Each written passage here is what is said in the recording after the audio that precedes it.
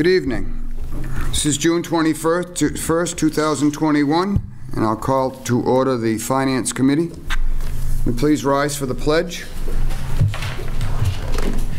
I pledge allegiance to the flag, United States of America, to the republic for which it stands, one nation, under God, indivisible, with liberty and justice for all. Thank you. Be seated. Thank you, Area 58. Oh, I'm sorry. Um, Beth, let me give you, would you be so kind? Where's the I? Was in. Um, Looks like you lost Adam. You're not there anymore, Adam? I'm here. I'm fine. I just put it on mute, that's all. But I'm here. I have three more. Okay, I think we got you again. You guys have to tell me if he goes away. Still there? Yep. I am still here. Okay. Thank you. I don't see anyone for public comment. Hi, Marie. Sorry, Adam. This is the technology we have now. This is the latest and greatest in technology, Mr. LaFond. I know, I That big giant TV set doesn't work over there?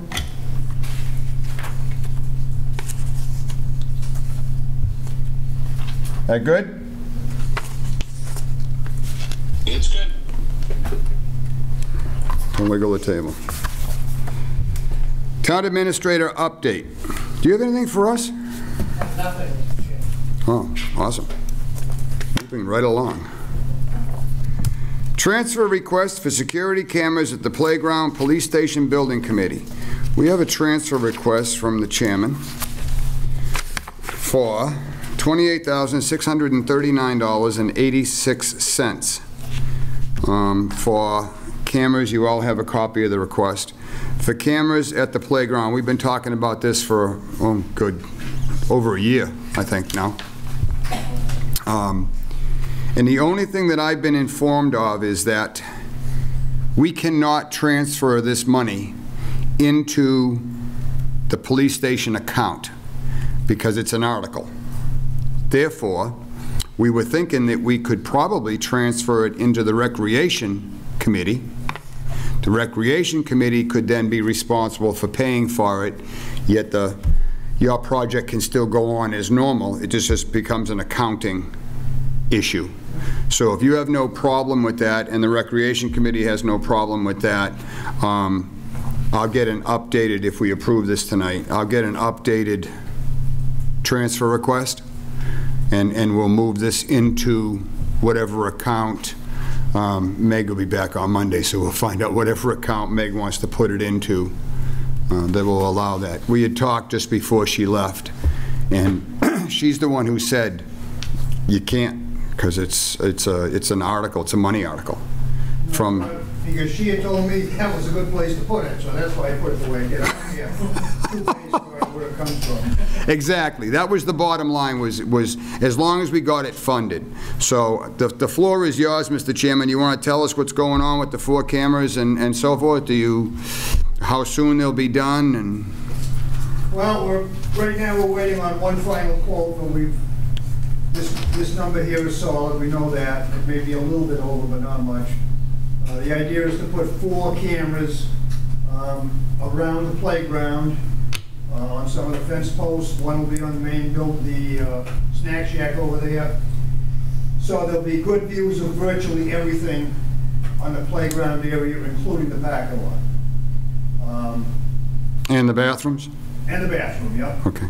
So all of this will report back. um, is a uh, microwave dish to the police station, um, the new, the new communications tower at the police station. There'll be a dish on that that will accept the signal, put it into the communications room at the police station, and into the, um, the network that the police department has there. So it'll be, it'll become uh, four additional cameras in addition to, I believe they have 45 cameras now. Um, They will have visual whenever they want to, but again, they've got 40... Right, we didn't expect anyone to be monitoring. I don't expect them to No. be monitored unless somebody called and said, hey, I see something funny over the playground, um, can you check it? And they certainly can pull that up. Um, The benefit of it is it will maintain the video for a period of time, and I don't know that number. I- I'm guessing it's 30 days, might be 60 days. So that if something happened in the parking lot or something happened to a child, fell off a, a- one of the uh, rigs over there, um, we can pull that back up. So, to me, it, again, I got involved in this, I don't know how, but late in the game. Um, this isn't my forte, but somehow I got, I'm doing it. Um, So this will, to me, give us good coverage from a safety standpoint. It's not gonna pick up something if, if there's some guy over there that's trying to pick kids up, they're not gonna see it. They're gonna be able to go back and see it unless they know what's going on. Right. not hiring it. So- That was always our concern, was the after the fact, when you get that phone call on Monday morning that something happened on Sunday night, then they can go back and play back the video to try to determine what that was, whether it was vandalism or, But right, Um, This at least would would give us some idea of what it might have been. Additionally, if there's some damage on the playground, if the kids get in there and do donuts on the ball field. right. Which they've been known to do, at least in my vintage anyway. Um, Or anything else, you know, if there's an accident in the uh, parking lot, this is gonna capture some of that, so. um, To me, it's just a, a safety issue, it's a liability issue to me, that, um, you know, the town is doing everything they can to protect the kids and protect the, the security of the, uh, infrastructure, and also to protect citizens who may get in a, a fender bender or may get in an argument with each other, and, uh, it'll be on videotape. Perfect. Um, We've contacted two vendors, got pricing from two vendors, both very capable, both, both did work in the police station, uh, that we were happy with. Um, All of this is on a state bid contract. Uh, Shelby Blair has reviewed that state bid contract and, and uh, documented that everything we're buying is on that contract, so that's, we don't even have to go to bid on it for that reason. Good. Um, We would be very happy with either one of the vendors. Uh, Mike Shaw from the police station, who's kind of a techie, and um, Steve Mahoney from the school department have worked on this together, as has Dave Seendorf from the uh, O and O and M. So um, I think it's, it's a good project. Timing, I've asked, and they were saying the middle of July it could be completed. I wouldn't, I wouldn't bet my five cents on that, because a lot of this equipment is back ordered, and they don't do anything until they get a signed purchase order to- Right. to buy equipment. Right. Um, The gal we're dealing with is a Carver resident, um, and she has assured us that this will get done as quick as they can possibly do it. Awesome. It involves, we have to hire an outside contractor to climb the tower to install the, uh, the dish, and that's figured in the price here. We have to do a little bit of trenching on the field to get some conduit in so they can run their cables. That's covered in this price. Um, The only, the only reason it was convenient for us to put it in the police station account was that if, if we happen to go over, there's money in the police station account that could, could handle. Uh, Originally, I had offered to um, use some remaining money in the police station account to pay for this whole thing. You know, I want, would want the blessing of the town administrator and the FinCom and the Board of Selectmen to do that. But clearly, as I look at it, it, it could be considered a part of the police station project. It's Just one more, four more cameras. Right. you're gonna be watching, so. uh, But anyway, any way the FinCom wants to do it, I'm, I just want it done. I get it. Uh, Would would you, would you find out tomorrow, please, exactly, I'm confused now, because this transfer request is very well written out, showing police station account number and the whole bit. So obviously, it's not a number that was pulled out of thin air. So now I'm wondering if it got corrected and we can in fact put it in this particular account. I So- will find out, in all my years, I've never seen a reserve fund transfer, transferred into an article, but that's a technical question, I will, I I will find that out. Right, Exactly, and I'm not, I'm not exactly certain that this new police station account number is actually the article. So it could be that it's, is it the article? It's got 516,000 left in it? Yep, So that's the article. yes, Okay, then we can't put the money in there. So okay. what we'll do is take action on this tonight, and once it's, it's, it's approved or denied, um, then, You, you, you could, I would suggest maybe take action on it, um, and transfer it to either line item, um, to be decided. Either or. Finance director. yeah, I'm, I'm, I'm okay with And I that. think that would be, obviously would let you know. Yeah. what It is, but uh, that way you wouldn't have to meet again or rescind or amend, Right. be done with it. No, I'm fine with that. Anybody on the committee have anything? I just had a couple questions. Pat? Just a- maybe a couple of technical questions too. Is In the um, grand scheme of things with the, um, with the cameras recording, are they motion-sensitive recording or is it constant recording? And two, is if something happens in the middle of the night, is there enough light around for the cameras to record something that you'd be able to see and use? Um, Don't have that answer for you, Pat, I'm sorry. Um, I'm not a Yeah, it's kind of technical, yeah. couple of people helping me. Um, I don't know, I think they will be motion sensitive, that's what all the cameras. in So they, yeah, right that, are. that's typical. Um, But I don't know about the light, the ambient light. Hmm. I, is that, The, uh, the motion's a function of the DVR inside the police station, so the cameras are probably always on, but it just doesn't record, uh, Right, well, so yeah. it'll have a box on the screen Yeah. that the DVR looks at. I've- I've- But the, the cameras that see at night have infrared, uh, it Right. shoots infrared Night lights vision. down. Okay. That's what you'd have to find out. So if they, if they are infrared, um, they'd be able to see at night. I, I don't know, um, Pretty much everything today is, but, Yeah, it's such an inexpensive um, thing now. yeah. I will ask that question. Do you um, anticipate putting um, anti-deterrent signage up to just telling people that the the premises are recorded, being recorded? That was discussed when I went to the um, Recreation Committee meeting the other night, and I think consensus probably was Yes, we maybe did. signage We did decide we are gonna put signage up saying that the. Yeah, that's a good idea. Anybody else?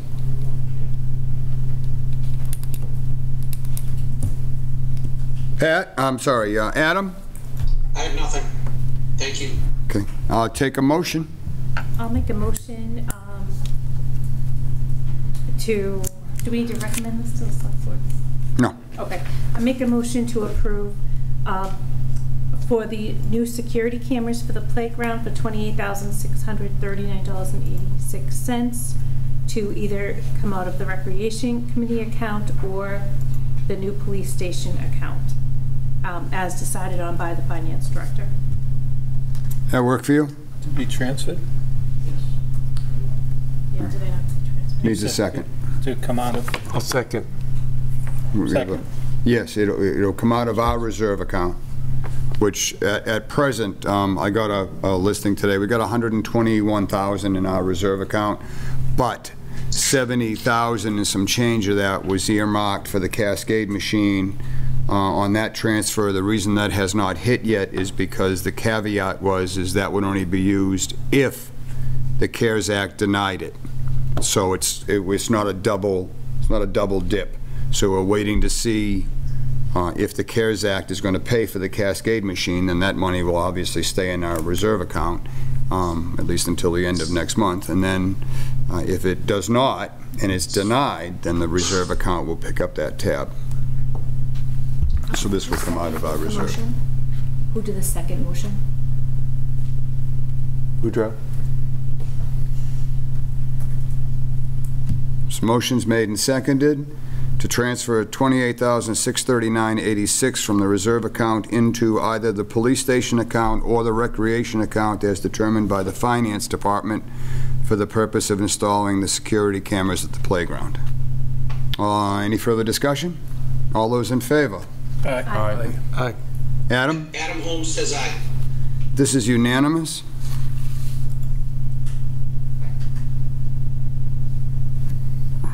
We got one, two, three, four, six, eight.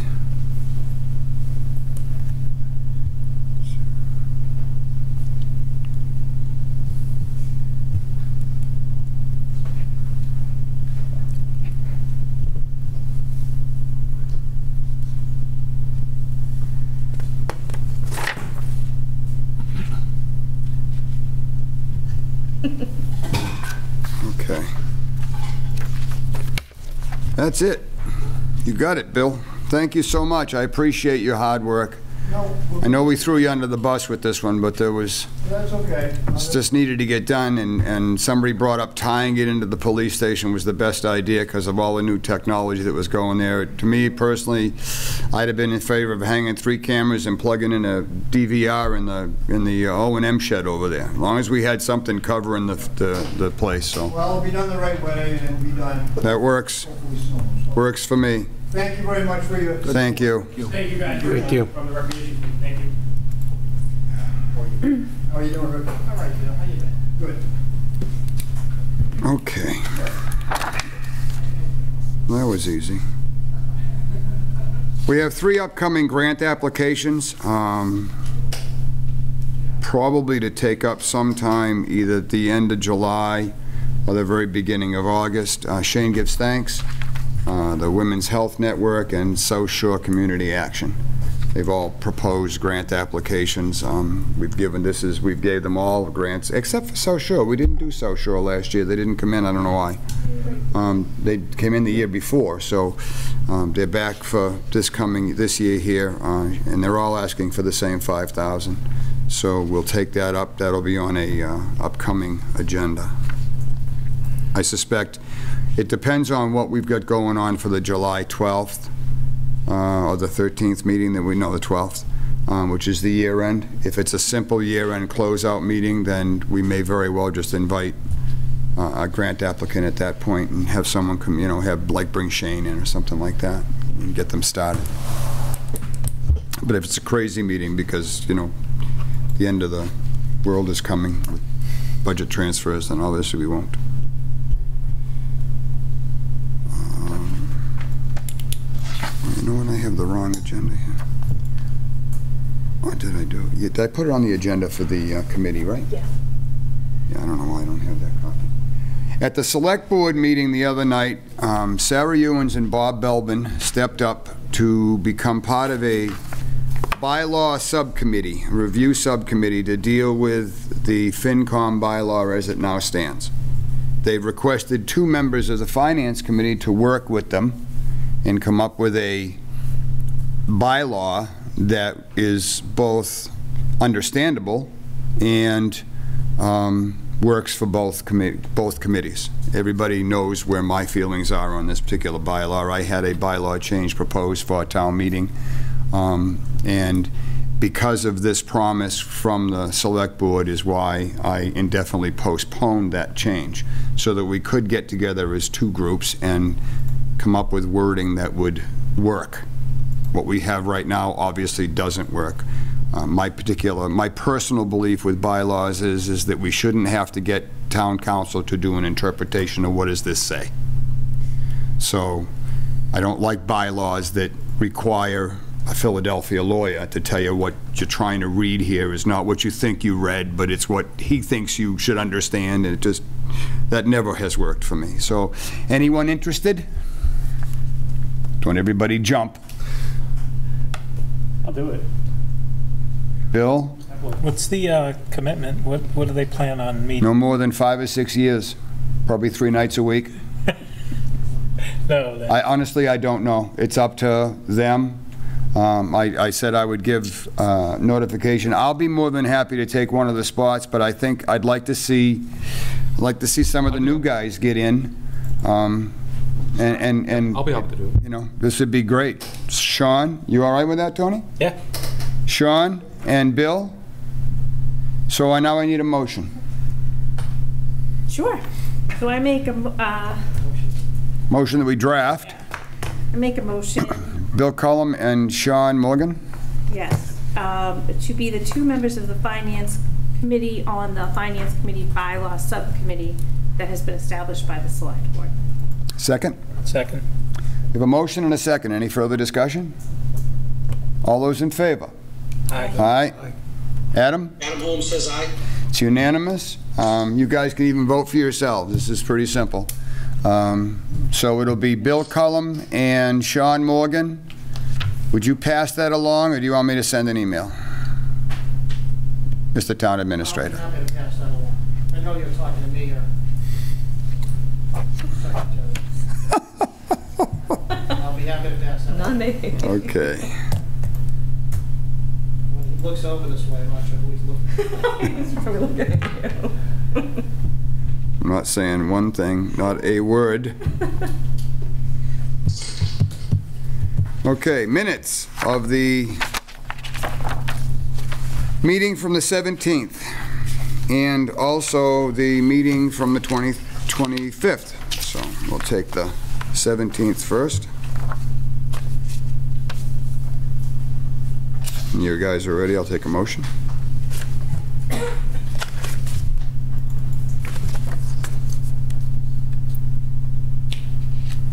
I make a motion to approve the minutes from Monday, May 17th, 2021 as written. I need a Second. second. Motion made and seconded to approve the minutes of Monday, May 17th, 2021, as written. Any further discussion? All those in favor? Aye. Aye. Yeah. Adam Holmes says aye. Opposed? We're there.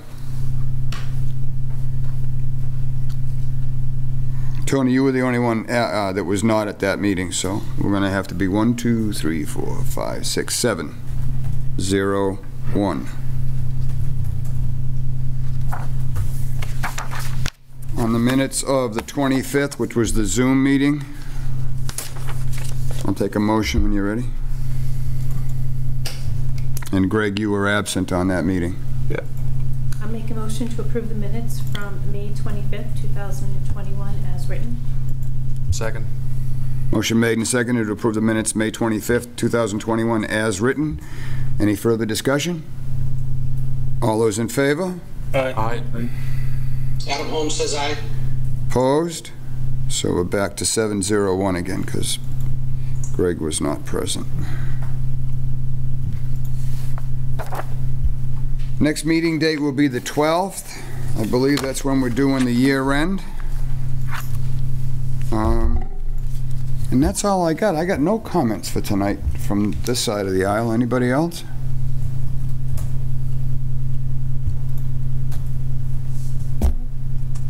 I'll take a motion. I make a motion to adjourn. I have a motion made and seconded to adjourn. Any further discussion? All those in favor? Aye. Aye. Yeah. Aye. Adam Holmes says aye. Carried. We are adjourned.